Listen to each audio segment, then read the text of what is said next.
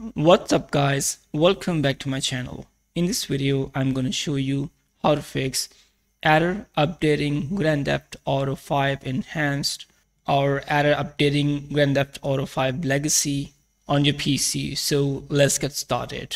Solution number one. Guys, I have different solutions of this problem, so do not skip any part of this video. Solution number one, go to your GTA 5 enhanced directory. Open your launcher and go to your game directory of your GTA 5. So my game is on my desktop. Go to your GTA 5 and delete this file, play GTA 5, hit delete. After deleting the file, open your Rockstar Games launcher and update your game. Solution number two. After updating your game, if you're still facing the issue, then uh, reopen your uh, Rockstar Game launcher with the run as administrator. To properties and uh, uh to compatibility here, but right click on it, open file location and launcher patcher.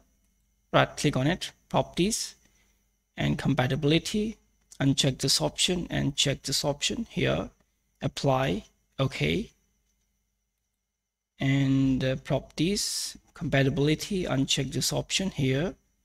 Check this option apply and okay and Rockstar Game Service here. Compatibility uncheck it. Check this option apply okay and this one steam helper.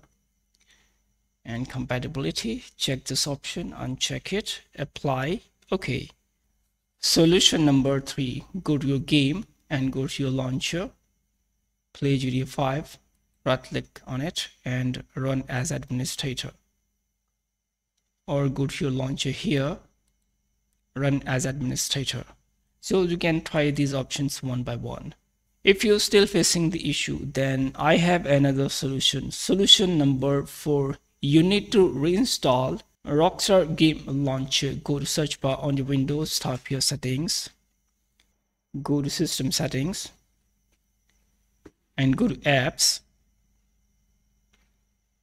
and type here Rockstar Games Launcher, and uninstall Rockstar Game Launcher and SDK. Click here, uninstall.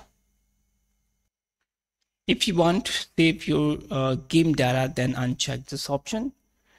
Check this option, okay? Because I, I don't want to delete uh, game data from my computer and continue. Now close it and uh, now go to search bar on the Windows and uh, type here uh, regedit, regedit Go to registry editor, right click on it and run as administrator.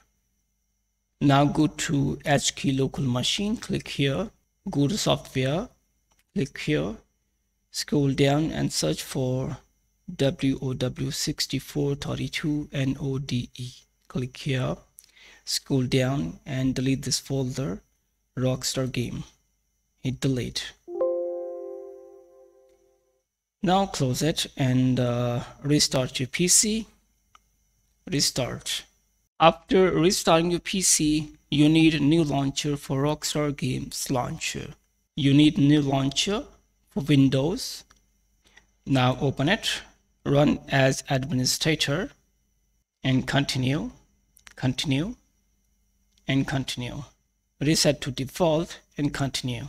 So after installing, open your Game Launcher, open file location, launch patcher and properties and check this option, apply, okay. Now open your launcher.